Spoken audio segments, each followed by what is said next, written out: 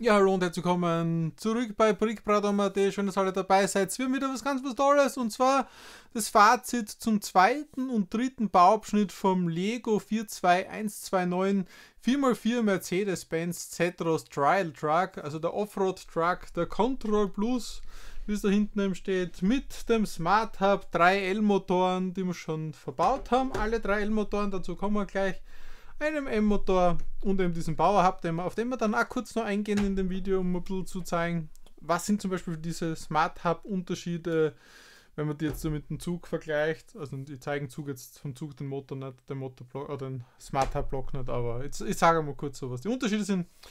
Äh, kurz zum Modell, wir haben das Rezessionsmodell von Lego unter Spitzerwelt Riegerbuch Ebner zur Verfügung gestellt bekommen. Danke dazu, Links findet ihr in der Videobeschreibung.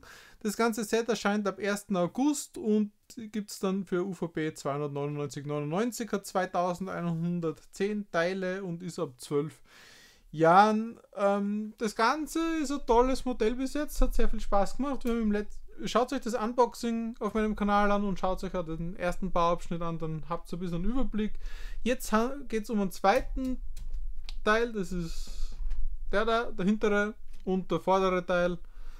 Ähm, das waren die nächsten zwei Bauabschnitte. Also alles, was da unten jetzt da anbaut ist, genau das haben wir gebaut. Ich, ich drehe es einmal kurz, um das zu zeigen. Und ich reiße da die Ente ab. Die Lego Technik Ente kommen wir dann auch noch dazu. Ähm, ja, können wir uns einen kurzen Überblick verschaffen, was haben wir gebaut? Ähm, grundsätzlich habe ich da die Kabeln verlegt vom M-Motor jetzt da nach vorne, wie ihr das jetzt. Ähm, ich habe einen M-Motor jetzt mit dem Rad, das habe ich eingebaut, das habe ich herauslassen gehabt, ist er jetzt verbunden. Das heißt, ein M-Motor, der, der handhabt genau diese Steuerung, damit dieser Schalter da umgelegt wird, von dem wir das letzte Mal schon ganz viel geredet haben. Der graue Schalter, dunkelgraue Schalter, ich hoffe, man sieht ihn da unten drinnen. Ähm, der geht dann bis zu der Kante daneben, wenn es dann aufmacht. Jetzt geht das nicht wirklich wegen dem Motor. Ähm, der ist ziemlich schwer zu, dagegen zu halten. Ähm, grundsätzlich verläuft auch dahin ein Schalter, da hinten auf dieser Hinterteilachse, kurz wie, seht, wie das mit dem schwarzen Teil da anbracht ist. Ihr seht da unten auch die ganzen, ähm, habt den Schalter und dann könnt ihr diese, diesen Block da auf und ab bewegen und dann könnt ihr die ganzen Sachen bewegen. Jetzt da, also dann könnt ihr dieses äh, rot, äh, blaue, äh, blaue Rad da auch drehen. Ähm, jetzt da geht es nicht.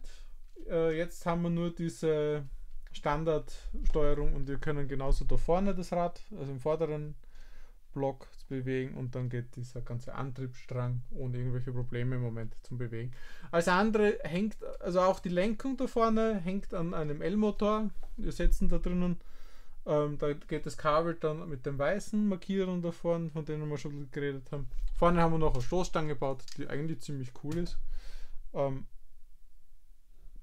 Sticker, übrigens die ersten zwei Sticker, plus die Ente, die wir da angebracht haben. So schaut das Ganze aus von vorne. Ihr habt die Lenkung, die verläuft da unten, dieses Zahnrad mit dieser Achse verläuft dort dann rüber. Ähm, ja, wir haben dann auch diese Federungen, die, die roten Federungen, vorn und hinten.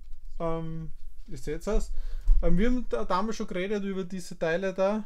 Ähm, Im letzten Video, da hat wer gesagt, das ist die Aufhängung, genauso ist es. Also ihr hängt das quasi mit dem Teil ein. Da ist nur ein Teil vorne, hinten sind es aber drei gewesen. Also da haben wir den Teil, dann hängt es ein und dann habt ihr da unten diese drei Konnektoren, also diese zwei Konnektoren noch und dann habt ihr diese, durch diese Federung habt ihr die Aufhängung, die da mitgeht. Ähm, ihr seht, da biegt sie alles hinten im Modell. Also ihr seht, wenn's da, wenn wir da was biegen, da biegt sie alles im Moment auf den Seiten. Da hoffe ich, dass da noch ein bisschen Stabilität dann mit den extra Teilen kommt. Da ist noch nicht viel. Ähm, Im nächsten Bauabschnitt werden wir dann den Block da einbauen, plus die Karosserie und wir werden das ganze Vorderhaus bauen. Ähm, also zwei Bauabschnitte. Da seht weiterhin super rein, da gibt es gar nichts. Da kann man nur jetzt nichts mehr bedienen, weil da das jetzt schön blockiert. Ihr seht eigentlich überall nur immer schön rein. Also ihr habt da den guten Überblick, wo es reinsetzt. Ihr seht von unten auf alle wichtigen Bau Baubereiche, Tender, Tester, wo die Schaltung ist. Ihr habt den Hebel daneben, den kleinen da oben. Das ist nur so ein kleines Teil, mit dem ihr den Hebel da rauf und runter machen könnt. Ähm, ja, auch auf der Seite, da habt ihr dieses Rad, das ist der Antriebsstrang Und habt auch dieses, wo ihr den gleichen Antrieb machen könnt. Da ist der Sticker noch oben, übrigens, auf der Unterseite. Schaut auch ganz fancy aus. Was sehr cool ist, finde ich, sind wie die Lichter im Anbracht sind. Die sind eben auch mit so Technikteilen rein und dann habt ihr das ein bisschen so reindrückt einfach. Interessant, wie das reinbaut wird. Ähm, ihr habt es verschieben können, dass es das ein bisschen reingeht. Also jetzt ist es ein bisschen nach innen gerückt, weil das da innen die ganze da vorne befestigt ist an den zwei. Ist ein bisschen schwer gewesen, das reinzubringen, aber hat funktioniert. Ja, ihr seht, wie das da eigentlich labil alles drinnen ist, diese Antriebsstränge. Bin echt gespannt. Also wie gesagt, jetzt haben wir alle Motoren verbaut. Der L-Motor ist eigentlich ist nur für die Lenkung zuständig. Ähm, und der und die zwei L-Motoren da drinnen sind, glaube ich, für den Antrieb dann zuständig. Ähm, ihr habt es auch da von oben rein, wenn ihr da reinsetzt, ähm, habt diese Zahnräder. Das geht im Moment und das andere sind für diesen Hebel. Also ihr habt mehrere Punkte, wo ihr seht, wo ihr die äh, bedienen könnt die, und zum Testen und schauen. Das seht im Moment echt super überall rein. Das Problem ist halt, dass die Motoren, können Sie gerne in die Kommentare schreiben, was da die beste Lösung ist im Moment. Ähm, die Motoren, die sind so Widerstands, also da kann ich nicht was viel herumdrehen. Ja, wie gesagt, drei L-Motoren, einen M-Motor. Ähm, ihr seht auch da die Rückseite noch, wie das ausschaut. Ihr seht, wie die, äh, das ist dieses klassische Teil da für diese Dreher. Ähm, ja, da gibt es nicht viel zum Sagen. Ähm, ihr seht dann auch noch, wie da die Räder verlaufen. Und das sind diese, was wir schon beim Ding gesehen haben, oder? Beim Land Rover, glaube ich, war es damals auch. Die gleichen Aufhängungsteile. Ja, unten da ist verdeckt. Da sieht man jetzt nicht hin zu den Zahnrädern. Das ist auch ein Schutz und ich bin gespannt. Ich hoffe schon, dass das noch ein bisschen stabiler wird, das Ganze. Wie gesagt, so schaut es im Moment aus. Äh, wieder kurzes Video bis jetzt. Ähm, jetzt kommen wir noch kurz zum Smart Hub. Das war es eigentlich. Ihr baut wirklich nur den Block und den Block, wo einige Zahnräder halt einfach drin verlaufen. Ihr habt da diese Schaltung auf der Rückseite ähm, mit diesem orangen Teil eben, so eine Kupplung. Ähm, habt könnt gleich, gleich wieder drinnen halt und habt da so einen Schalter, wo ihr das immer rüber runter hin und her schalten könnt. Ähm, weil das letzte Mal die Frage war, kann man dies, diesen Hebel, also dieser Hebel wird auf jeden Fall ähm, mit der App auch steuerbar sein, weil er auch der M-Motor dorthin verläuft. Und da, da, läuft dann, da laufen dann alle diese ähm, Antriebsräder mit. Also da geht es dann so durch und bis zu dem Rad da hinten quasi. Ja.